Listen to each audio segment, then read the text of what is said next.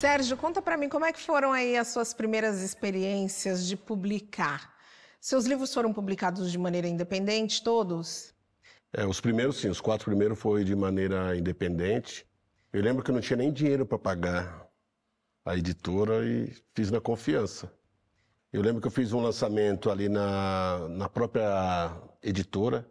Era uma editora independente, Uhum. fiz o lançamento lá, depois eu fiz lá no meu bairro. E a gente No não... sarau, não no sarau. Não, não tinha essa de sarau. Foi em 1988. Ah, ainda nem tinha. As ruas nem todas tinham asfalto ainda, eu estava lançando o livro. E eu lembro que a gente não sabia direito, e o Zé Batidão fez uma salada de maionese com frango frito. Que maravilha! E aí tinha uma caixa de, de, de cerveja, subia, e o pessoal falava, ó, o nosso amigo e tal. E era engraçado que e, eu não entendia direito o que eu estava fazendo. Assim, eu não tinha ideia de viver de literatura. Eu, eu tinha feito um livro, era um sonho.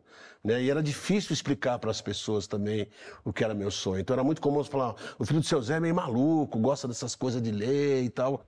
Então era como se fosse uma praga. E eu vinha do futebol de várzea, né? Eu jogava bola. E eles falavam assim: ah, o Sérgio Vaz faz uns versos. Eu falei: verso não, mas protesto, tá ligado? Tinha essa coisa. Então demorou para trabalhar também a, na minha cabeça, porque eh, eu ia vender os livros e ninguém comprava. E aí